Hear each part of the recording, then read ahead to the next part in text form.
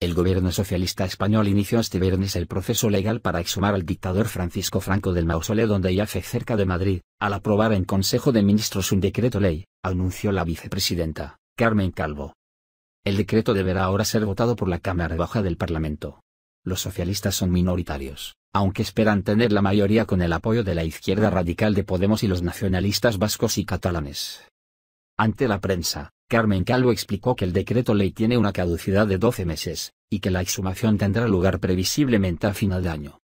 La medida choca con la oposición de la familia, que se niega a que Franco salga del Valle de los Caídos, un impresionante conjunto monumental ubicado a unos 50 kilómetros al norte de Madrid, y en cuya basílica yacen los restos del dictador desde que murió en 1975.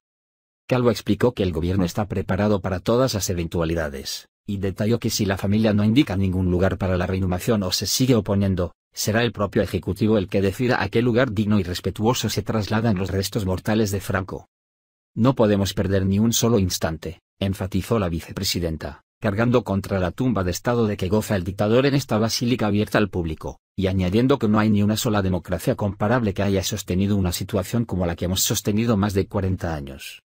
El Real Decreto Ley aprobado este viernes consiste en la modificación de dos aspectos puntuales de la llamada Ley de Memoria Histórica aprobada en 2007. El decreto introduce un párrafo que señala la urgencia de la exhumación, indicó Carmen Calvo, e indica al gobierno el procedimiento para hacerlo,